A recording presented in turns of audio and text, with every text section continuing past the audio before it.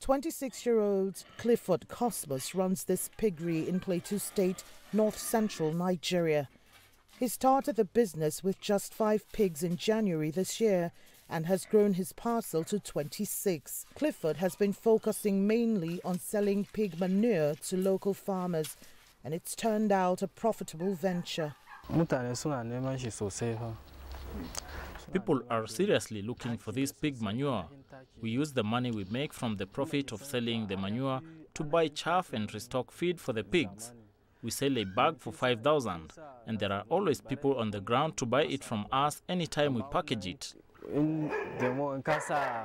The cost of chemical fertilizer has more than doubled in the past one year. From about $18 pre-COVID, it now sells for nearly $41. Several farmers like Helen Moses now see pig manure as a viable alternative. It's quite affordable compared to urea and other ones in the market. Urea goes for 11,000 naira in the market. NPK is around 17,000 naira and pig manure goes for 5,000 naira only. Some even sell to us for 4,500 naira. Apart from being cost effective, the farmers say pig manure provides the much needed essential nutrients for crops to grow. Pig manure is very good for our crops. Some people mix it with NPK, a little of each, but I don't. Pig manure makes the ground soft because it is also soft like sand.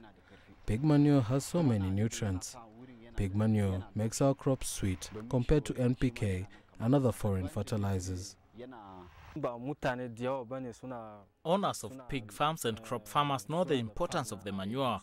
It works for almost every crop, either potatoes, maize or even avocado trees. We dig a hole like this and gather the pig feces in here for months to be rotten and then become real fertilizer. The high demand for pork, oil and other products is driving the profits in the piggery business. A full-grown pig sells for about 85 to 100 dollars. With their rapid growth and reproduction, farmers are cashing out on returns. Plus, income from pig manure covers for the running costs.